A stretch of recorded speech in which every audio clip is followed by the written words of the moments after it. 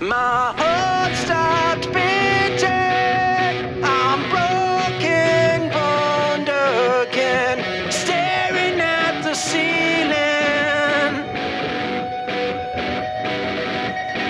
If I could.